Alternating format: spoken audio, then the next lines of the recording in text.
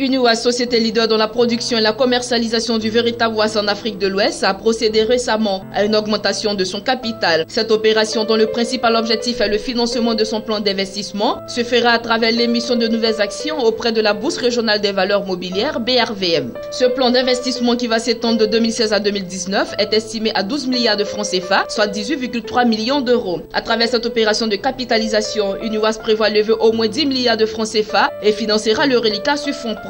Autrement, il s'agit pour le groupe d'accroître la capacité actuelle de l'usine d'Abidjan de plus de 60%, avec une prévision d'investissement d'environ 8,7 milliards de francs CFA dans les installations industrielles, contre 3,3 milliards de francs CFA d'investissement au titre de la sécurité, de la santé et de la protection de l'environnement.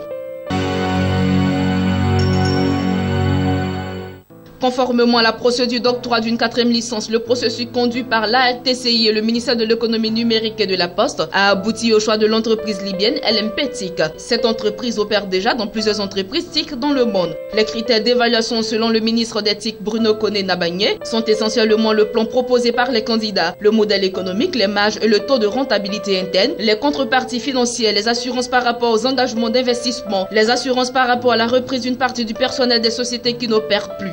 Conseil a donc approuvé le choix de ce quatrième opérateur et autorisé au gouvernement à finaliser le processus d'attribution de la quatrième licence de téléphonie mobile. Par ailleurs, Bruno Koné a assuré que les facilités seront faites pour ce nouveau venu sur le marché de la téléphonie mobile en Côte d'Ivoire.